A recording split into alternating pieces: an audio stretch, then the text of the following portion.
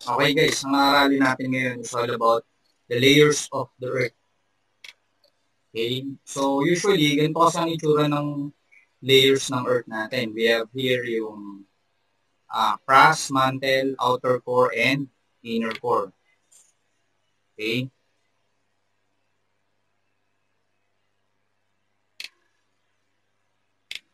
Now, what are the layers of the earth? Okay, compare natin yung layers ng earth sa, for example, sa kiwi, kiwi fruit. So, if we're going to describe this one, parang ganito rin yung layers ng earth natin. First, meron tayong crust. Yun, yung pinakaibabaw. Followed by, yung nasa, git, nasa kasunod ng crust is our mantle. Okay. Followed by what you called our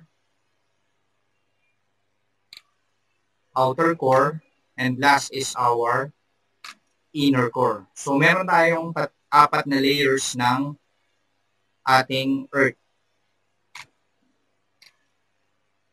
Okay, so aralin natin sa isa-isa. Let us start with the uh, crust. Okay, so when we say crust, siya yung thinnest layer of our Earth. So, siya yung pinaka, kung nasan tayo nakapesto, crust yan. Siya daw yung pinakamanipis na layer ng Earth.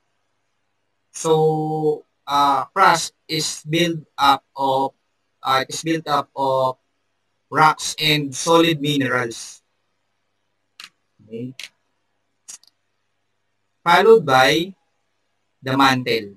Okay. So, yung mantle is the largest layer and lies between the core and the crust. So, meron tayong crust, ito yun, ito yung ating mantle, nasa pagitan daw siya ni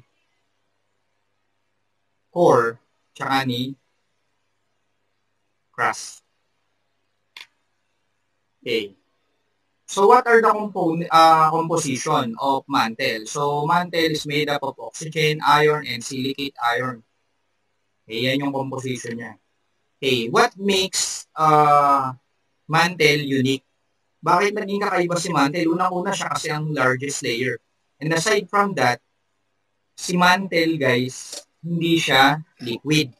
Okay? It is however ductile or plastic, which means that on a very long time scales and other and under pressure, it can flow.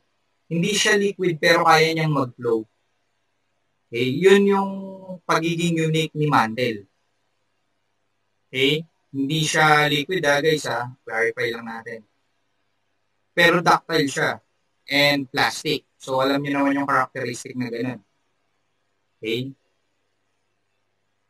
Kaya niya mag-flow under pressure. Okay, yun yung pagiging unique ni mantle. Next. So we have here the outer core. Now, si core, nahati sa dalawa. We have the inner core and the outer core let us have first yung outer core. Okay.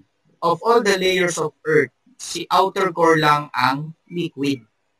Okay? Although yung pressure na kay mantle, hindi siya liquid ha. Ang only layer that is liquid is our outer core. So, ang temperature dito guys is extremely uh, hot. So, sobrang init. It ranges from uh, 4,000 to 5 4,500 to 5,500 degrees Celsius. So imagine niyo kung gaano kainit. Eh, yung kumukulong tubig lang is 100 degrees Celsius na. Eh. Imagine niyo pa yan. Okay? And also, our outer core, nag-spin yan. Okay? Umiikot siya. In what way? Westward. Okay? Pag spin niya is westward. So, westward. Ganun. Papuntang west. Pag ganyan ang pag-spins niya. Next. Last is what you call the inner core. So, ang inner core natin, it is composed of iron and nickel. Okay? Iron and nickel. So, purong bakal yan. Iron tsaka nickel. So, kung purong bakal yan, automatic, that is solid okay, spins faster than the surface of the Earth. So, eto, si inner core din daw ay nag-spin. Umiikot. On what direction naman siya? Eastward, kabaliktaran siya ni outer core. Ang pag-spin niya ay mas mabilis kaysa sa planet Earth natin.